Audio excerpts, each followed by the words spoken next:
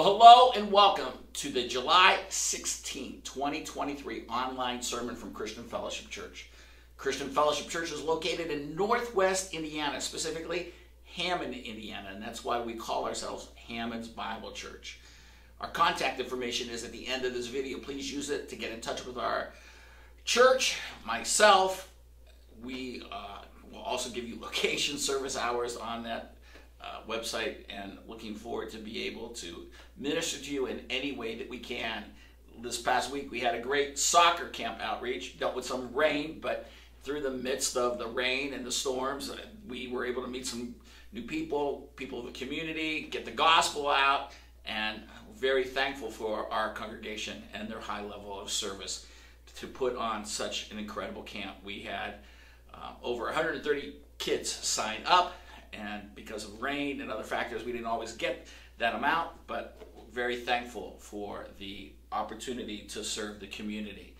So, lots more going on in the summer, and I look forward to having uh, a special speaker in a couple weeks. We're going to have Matt McGrew at the church, pastor who's going to be doing the camp checkpoint for the junior high uh, ages. And then we're also going to be have one of our missionaries at the service, Sean Boyd. So looking forward to having a lot go on at CFC throughout the summer, as well as our church picnic before. Sadly, the kids got to go back to school.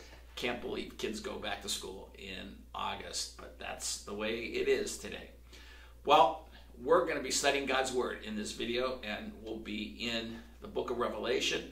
So have your Bibles ready. First, let us transition into our music ministry. Then we'll come back and have your Bible ready to study God's Word.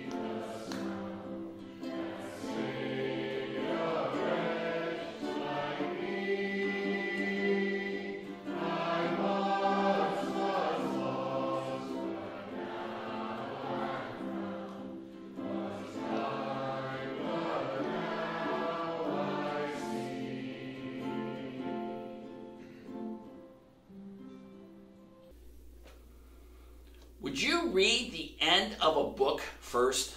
I mean, would you read the last chapter when you opened up a book and said, I'm going to start reading this, I'm going to read the last chapter?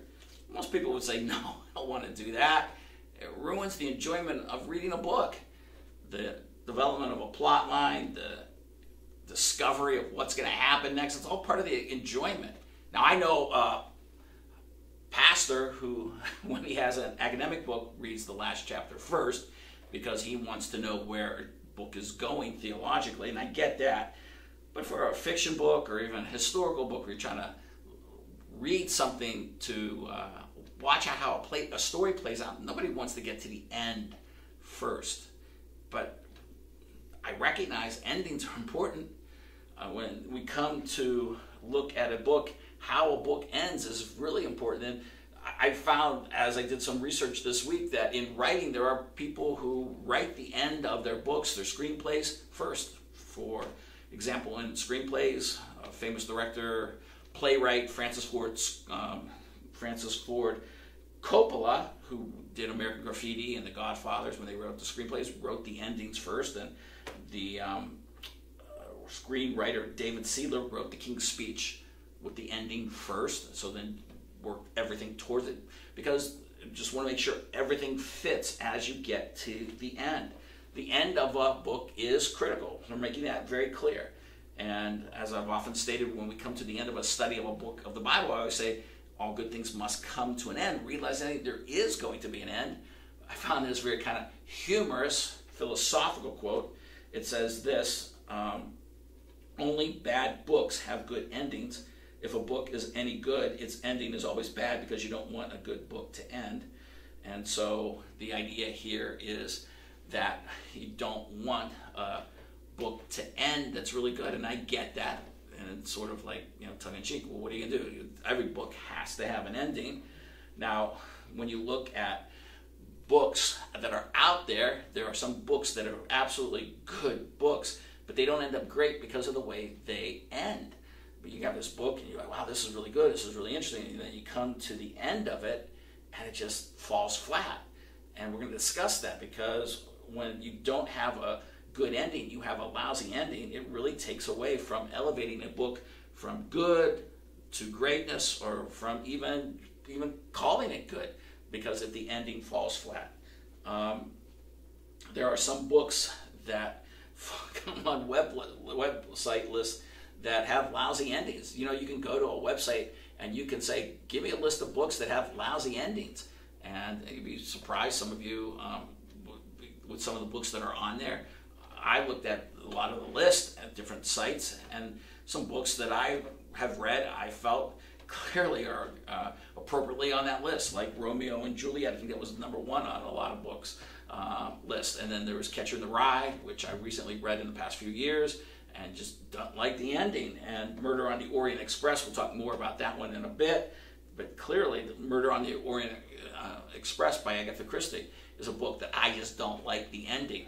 And then there was a list of movies that have lousy endings, like World War Z with Brad Pitt, or The Accountant with Ben Affleck, I Am Legend by Will Smith, some more recent movies for people who are into the movie genre. They don't have good endings. Now, why am I talking about this? Is because I want us to understand what makes a lousy ending, what makes a good ending. Um, people that look at the idea of a bad ending is, is number one, you have a disappointing ending, right? where the main character dies. Like, oh, you're hoping that something good would happen. But Romeo and Juliet die. It's a bad ending. It's just a disappointing ending. Or nothing significant happens. And you look at Catcher in the Rye, or there's a, a book called Breaking Dawn.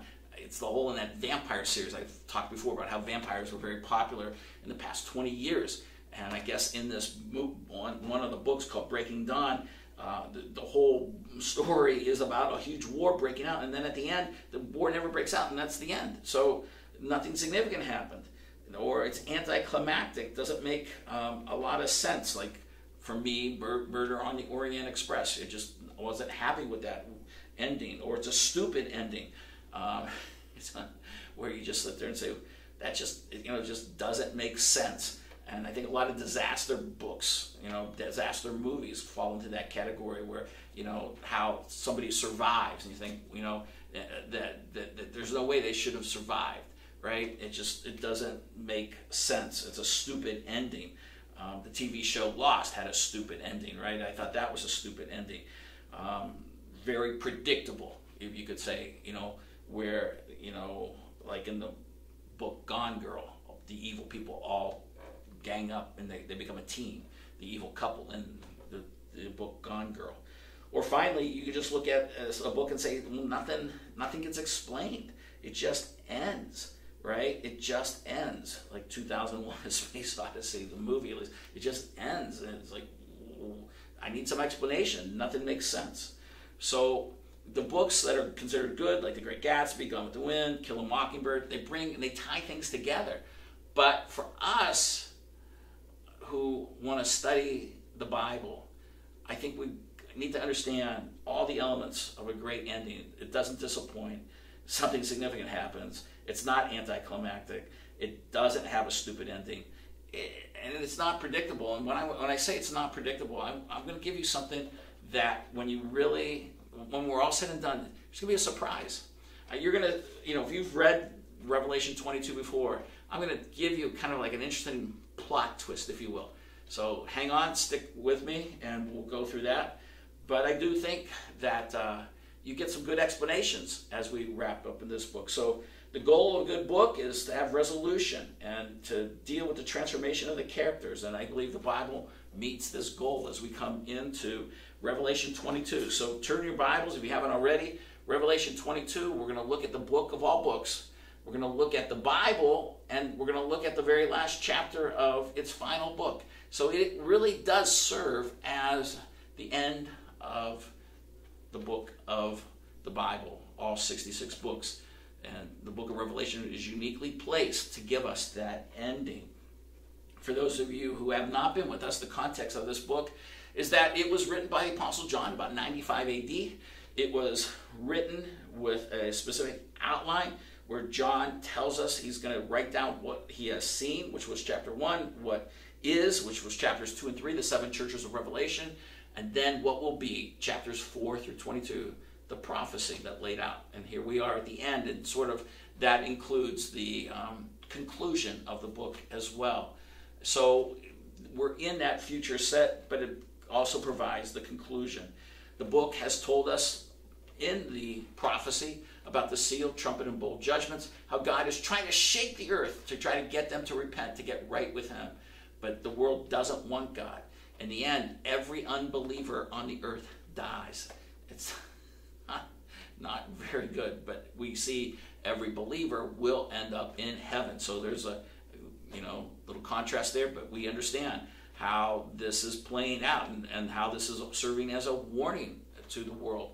And as we come into chapter 20, after God has had the Battle of Armageddon where he, he was victorious and every unbeliever has died. He sets up what we call the millennial kingdom and a thousand year reign. And you would think that people would be excited for a utopia on earth, but sadly, mankind at the end of that rebels, which leads us into the final judgment.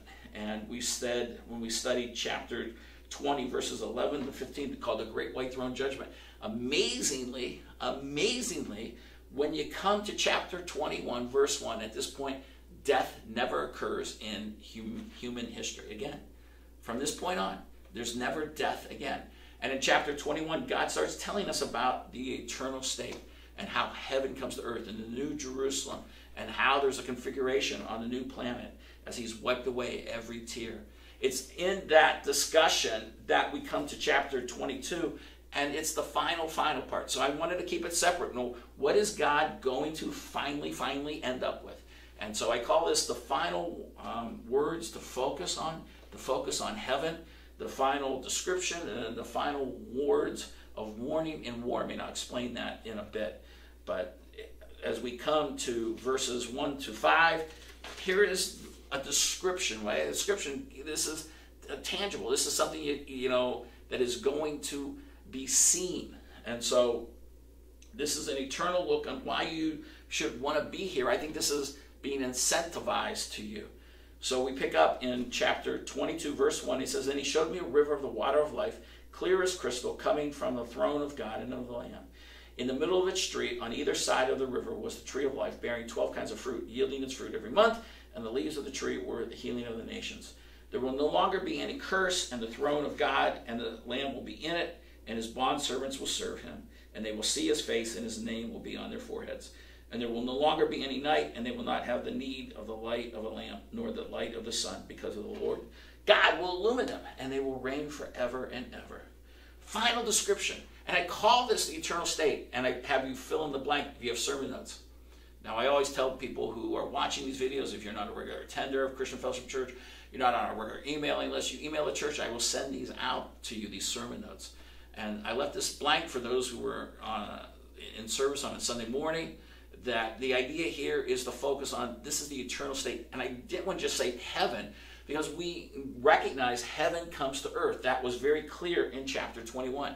Heaven comes to earth, and it's the eternal state. And we're, we're not Mormons in the sense that we live, we have our own planet or something like that, but we do live tangibly on earth. And it's important that people grasp this so that they don't think that God has us just floating on clouds. And it's, it's a constant emphasis of mine because I know there's a lot of unbelievers that foolishly take that and think that you know we're like these spirits that have no substance and we just float on clouds and play harps all day. That's not it. Mankind is going to live on earth forever. Well, in, in this section, just again, trying to keep this as we're trying to move through and trying to keep the jet tour idea that we initially started with, the idea that, you know, when we started studying the book of Revelation, we're going to go into every detail. I just wanted to point out there are four items that are described here, okay? And, and the four items are first and foremost the river of the water of life. You see the river of the water of life. Now, what is this river? It's interesting. It is water. It brings life. Um, it's not mentioned specifically in the book of Genesis. You do have some rivers in the book of Genesis, but the water of life is, I believe, tied to Psalm 46. Listen to this verse. I'm just going to quote it. Psalm 46, verses 4 and 5. There's a river whose streams make glad the city of God. The holy place of the tabernacle of the Most High God is in the midst of her. She shall not be moved. God shall help her, just as the break of dawn. And so I think God foreshadowed that, that now we get the description.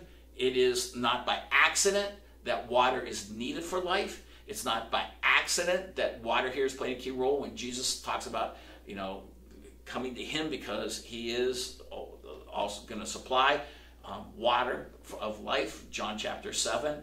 Um, it's not an accident that water is used when God talks about the fact that people who don't have water, um, his water, and again in um, Jeremiah chapter 2, are going for cisterns that hold no water because God bountifully supplies water. So people, some people want to say, well, because this is flowing from God, it's an endless river, and you know God's word is like ongoing water refreshes the soul.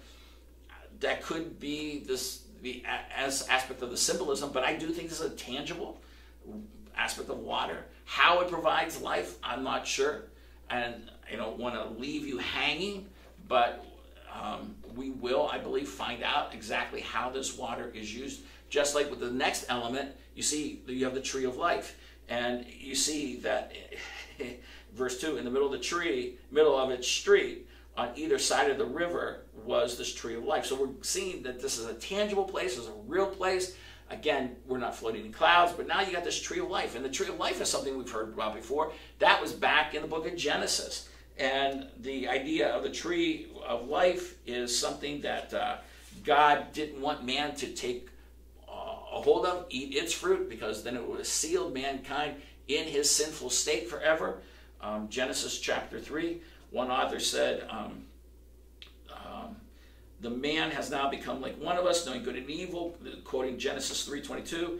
He must not be allowed to reach out his hands and take hold, uh, take also from the tree of life and live forever. And, uh, and I got this from the website Got Questions. I'm going to show a picture of uh, their website on uh, Sunday morning. Uh, if you're interested, it's a great description of the tree of life uh, got questions. I believe it's .org. It's a great website that just just gives you the facts. Doesn't elaborate beyond um, with speculation what the tree of life is. And it goes on in his disobedience, Adam lost his eternal life. The tree of life in Eden must have had some role to play in maintaining the life of Adam and Eve, possibly the animals. It was mercy that God kept us from the tree of life. By barring access to the tree of life, God showed compassion in his omniscience, knowing that because of sin, earthly life would be filled with sorrow and toil. God graciously limited the number of years that men would live. To live eternally in a sinful state would mean endless agony, agony for humanity with no hope of the relief that comes with death. By limiting our lifespan, God has given us enough time to come to know Him and His provision for eternal life through Christ, but spares us the misery of an endless existence in a sinful condition. And I wholeheartedly agree.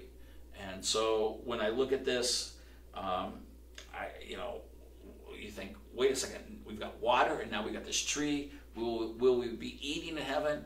Um, we see at the end of the Gospel of John, Jesus is someone that is able to eat of the fish, right, with his resurrected body. We know from the book of First Corinthians and from our previous study that we don't have stomachs. So, how is the digestion process going to happen? I don't know. Um, there are some things that are going to be left as a mystery. But the fact that this tree is going to be there is what God wants us to know. And I believe that we'll be able to partake. And, and when it talks about the fact that it's, um, it, it is something that is um, healing, where is that line? Um, yeah, at the end of verse 2, it talks about the fact that leaves of the tree were for the healing of the nations. Um, in ancient Greek language, the word for healing can also mean health giving, and this may be the sense here. The word for healing is therapian, from which the English word therapeutic is derived, almost directly translated from the Greek. Rather than meaning healing, it should probably be understood as health giving, as a word in its root meaning has the idea of serving or ministering. And so, um, to me, I think these are little trees, little water, little fruit, and how God is going to actually use it for our eternal life? I don't know, but I do know we have eternal life. I mean, God has made it really clear that from this point on, death is done. That's what we saw in chapter 20. Death was thrown into the lake of fire. There's no longer going to be death. So, you know, you say, well, I haven't eaten for a month. Well, I'm, I'm near death. I don't think it works that way. It's going to be fascinating to see. And I look forward to understanding all the dynamics. Like I said, God goes so far, lets us know this will be there. And I'm just telling you, this is going to be there. And I, I hope it sounds um, incentivizing to you that you say, well, I want that tree. I want to be there. I want to be have something that takes access to it. I think it's going to be absolutely fantastic to be able to see this tree of life, to know that Adam and Eve saw this tree of life, then it was hidden, right? I mean, we know it was like, taken away, hidden, so that mankind couldn't get to it. And obviously, uh, a lot of people think when the flood came, God, you know, somehow destroyed it, but now it's pulled back, and here we see it on earth again. So, number one was the water of life. Number two, uh, the river of the water of life, then the tree of life. And with that tree, you know, I might point out that its fruit is every month. And so there's a sense of timing. Uh, we have time in heaven. And how that's going to work out, I've speculated before, but I, I just tell you, recognize there will be time in heaven. And there's the idea of the nations, the recipients. Some people will say, well, you know, we're not going to have divisions in heaven. We're all God's people. I, I disagree. I think there's a reason God talks about nations and he talks about people. I don't think we're going to have the racism. We're not going to have the, the, the, bigotry towards one another. And I point out that all people um, have divisions, uh, you know, and, and people always find something to hate one another. And it's stupid, but that's what people do. I, and so people who want to say, oh, well, we're not going to have those division, you know, those different races. Well, why not? I think, I think God's going to, you know, look at people and keep the variety going, just like He keeps all kinds of different varieties going. Why wouldn't He keep variety going in people? I mean, we're not all going to be wonderful and look like me, right? I mean, so I get that. I get that. So that's just my that's my take. But if I get surprised and we're all, you know, we all look like Carl. one of our elders, or we look like Sean, one of our elders. Who knows how it's going to happen? I don't know how it's going to happen. But I do think that when he talks about the healing of the nations, um, somehow we're still going to have God's people, and and and the nations are going to come in and go out. So we saw that in the previous chapter. But the third thing that you want to point out here is the fact that you're going to see in verse 3 there's no longer any curse. And the curse was spoken by God back in Genesis, where God brought in the, the idea that things were going to break down, things aren't going to work out. And we learned from the Bible in Romans chapter 8 how creation groans under a curse. And what a blessing. And this is something that, you know, we, we, we all just have gotten used to that things go bad, things die, things break down. And, uh, you know, it's like, you know, what the world calls Murphy's Law. If something bad could happen, it will. I mean, you're walking down the street, you're you know buttoning your coat or something because it's cold and it's blustery, and all of a sudden the button breaks, and it's just perfect time. It doesn't break when things are good weather. It breaks when you're trying to keep yourself warm, and when that button breaks and falls off, and you go to pick it up, it like rolls away from you, and all of a sudden rolls into a sewer. You think, you know, it could have rolled anywhere. Why did it roll there? It's because we're cursed, and and as I've studied and said before, this curse is from God. This curse is so that we know that there's something wrong in the world. And, and when you come to heaven, there's not going to be anything wrong. But the curse is now. And a curse is designed to alight, as Proverbs talks about curses. And I hope it's something that you recognize when you see things go wrong, you see things go bad. It's because mankind has sinned. And it, you say, well, I didn't do something that day that that bad thing happened. Right. But humanity is under a curse, and God is constantly allowing us to remember so much why we need Jesus Christ, why we need to tell people about Jesus Christ. And and you say, well, I'm walking faithfully with God. Well, God might want you to constantly be aware that you need to share the gospel with people. And that gospel we've been sharing at our congregation is that man's a sinner, that Jesus is God and man, that Jesus died on the cross, that Jesus rose again, and by faith alone, you can have salvation. And I would hope that if uh, you have placed your faith in this and you're trusting in Jesus Christ and you're born again, then you understand that the world needs Jesus because the world is cursed. Well, here you come and you see there's no longer going to be any curse. And, and, and it's going to be lifted. And I, I think to myself, what, you know, what is that going to be like? That is going to be amazing. And if I can give you an illustration, I was thinking to myself, back in 1988, yeah, way back in 1988, I moved to California. I lived in Ohio all my life up to that point. And so I moved to California in August of 1988. And it was in February 1989, about seven, eight months later, that I came out of my house. And the house I was, I was renting an apartment um, and from a man, and he um, had this house up in Canyon Country in California, and I come out and it's February, and not only was I wearing a short sleeve shirt at that time, because here every February it was freezing in Ohio, uh, cold in the 20s, and you know, etc. And here it's like 70, 80 degrees in California. But I noticed all of a sudden, I realized I hadn't seen rain for seven, eight months. It was a time when California was going through a, a drought period, like it often does.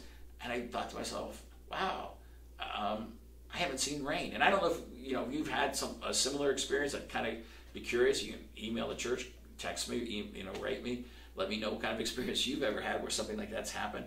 I truly believe, as application, there's going to be a time when initially in the first few years or something, we're going to look around and we're going to say, wait a second, man, I haven't seen anybody die.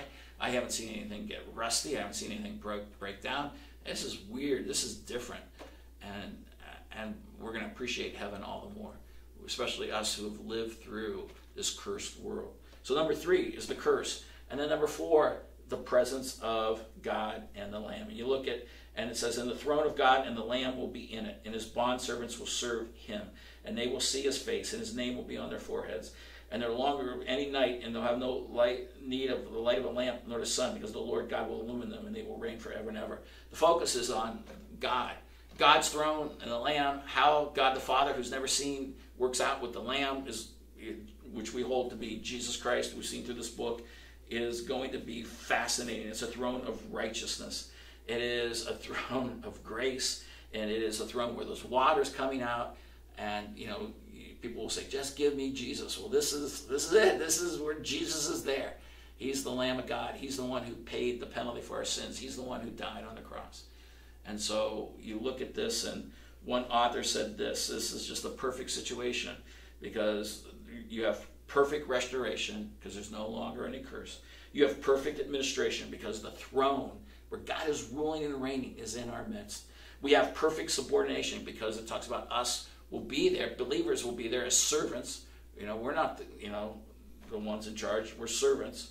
There's going to be a perfect transformation. We shall see his face because the Bible talks about we'll be just like him. We're going to have perfect illumination.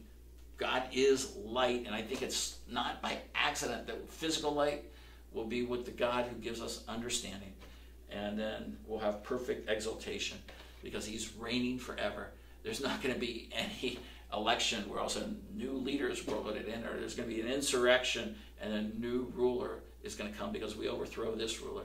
We're going to be happy and that this guy is that God is reigning forever. And so, what I want you to think about, what I want you to ponder, and I want you to contemplate, is all of this was designed to give you incentive to want to be home, home in heaven, and that's where my last few lessons have been prior to this is the fact that God wants us to think about ourselves as Christians who are aliens and strangers, and we're just going through this world. We're aliens and strangers. We're temporarily going through this world. We're not here permanently. This is where we are. And the moment we got saved, God could have taken us to heaven. But He says, basically, we studied last week in the idea of the fact that God has left us on earth to serve, to witness. And, and that's where I'm hoping all of you have this understanding because I think the more you focus on heaven, as I've said, that you become more earthly good. People who say, "Oh, you're you know so earthly, so heavenly minded, he's no earthly good," is a lie. I want us to be heavenly minded so that we're earthly good. And and the idea is is because we know that we're aliens and strangers on this earth and that we've got a job, and almost like soldiers, right? Is there's a reason God calls us soldiers? And I have some illustrations on Sunday. I'm gonna put up some pictures from from three soldiers from three different wars, and it's fascinating that each soldier, and I'm gonna read you uh, at least one of them here, uh, Lieutenant Alan Dean, as he wrote home, you could see here he is in the middle of the battle, but all he did was long for home, and as he wrote to his wife on July 10th, 1967. He said, There are many times when I'm out in the field that I really feel like I need to talk to you. He says, Sorry I haven't written more, but the weather is against me. You can't write out here when it rains hour after hour. And I love you with all my heart.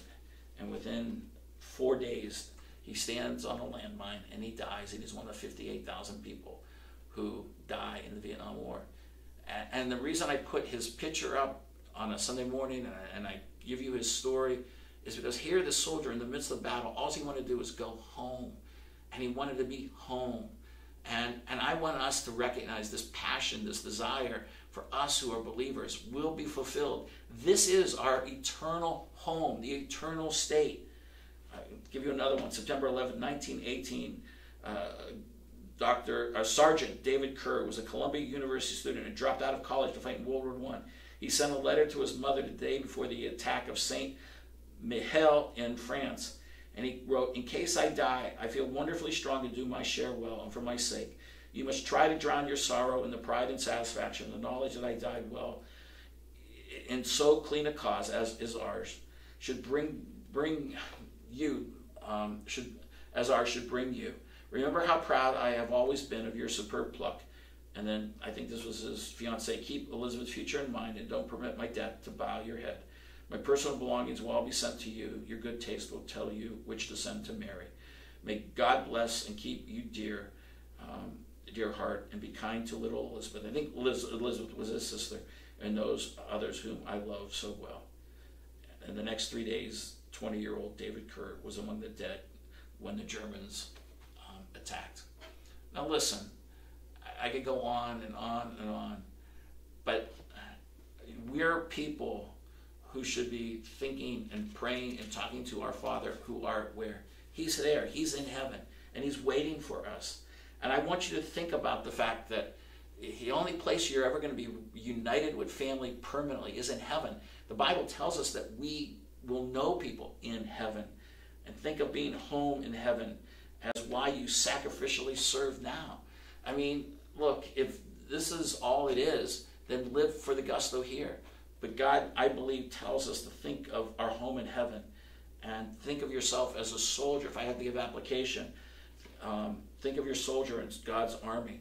Have that mindset that you're not home now. It could be hard, it could be difficult, things could be frustrating. You might not get all the accolades and all the ease that you'd like, but you're a soldier now. You're a soldier now. Heaven is coming, and what we saw here should describe you.